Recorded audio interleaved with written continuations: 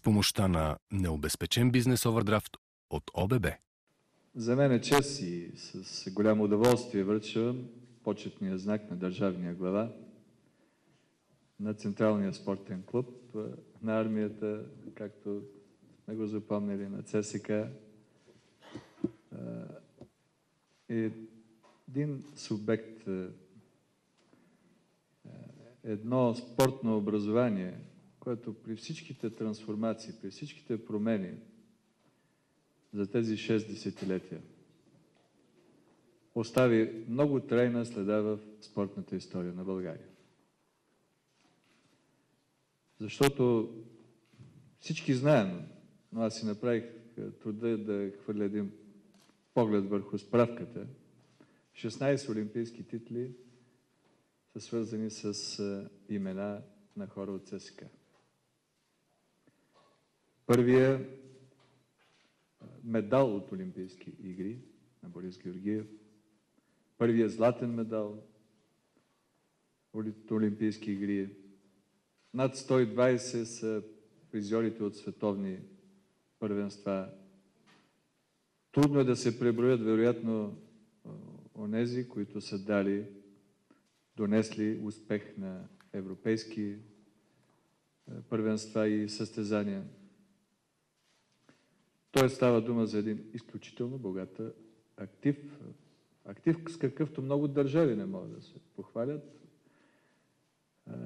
А ЦСК очевидно, че действително беше събрала с десетилетията и в десетилетията, може би най-доброто от българския спорт. Радвам се, че дойде инициативата по линия на футболистите. Така е, футбола е в центъра на вниманието бил винаги, а пък когато става за ЦСК, това може да се каже с още по-голямо основание. Още повече, че има още един хубав повод. Поредната, ако се не лъжа, 31-а титла, спечелена възможно най-убедително. Тя е повод да се върнем към онова, което ни оставиха във времето някои от най-забележителните български футболисти. Поколението на седящите пред нас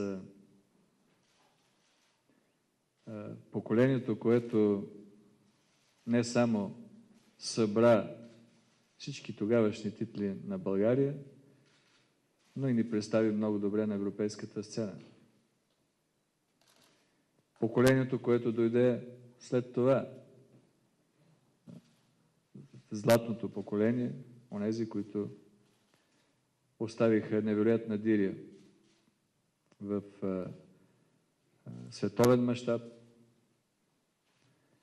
Винаги е имало приемственост, винаги е имало много силно убедително представяне, където и да са на международната сцена спортистите на ЦСК, в това число и футболистите.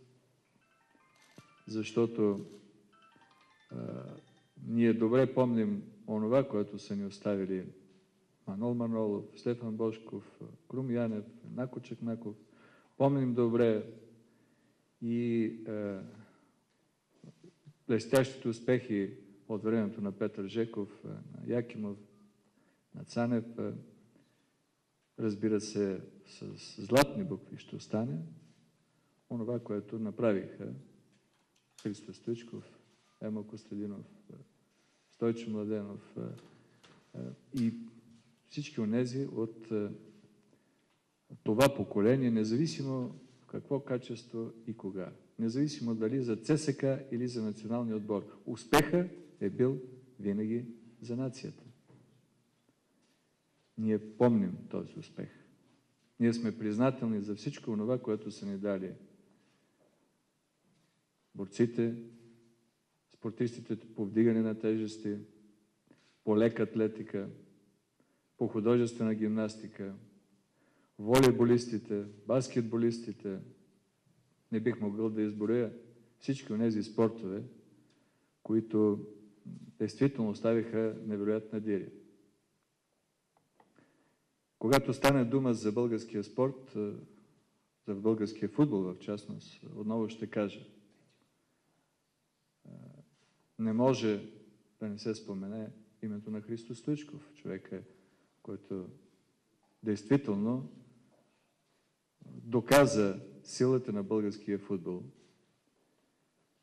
Не може да не се спомене името на треньор номер едно за България на всички времена, Димитър Пенев, който действително показа великолепно стратегическо и тактическо майсторство.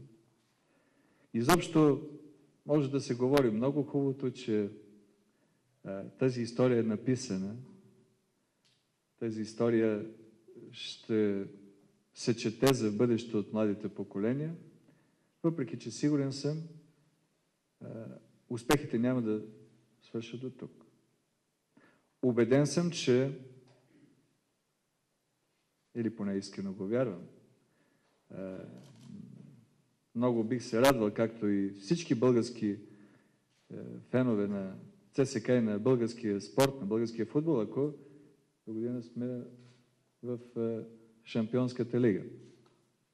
Преди това, обаче, аз вярвам, че българските спортисти, в това число и хората, които са тръгнали от ЦСК, които са в ЦСК, ще ни представят възможно най-убедително на Олимпиадата в Пекин.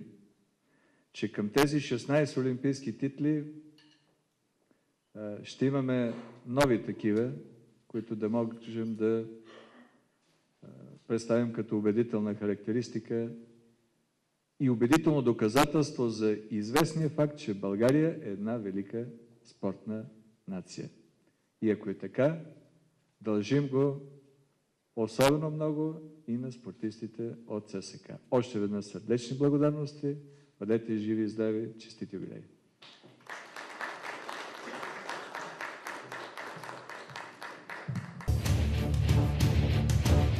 С помощта на необезпечен бизнес овердрафт от ОББ.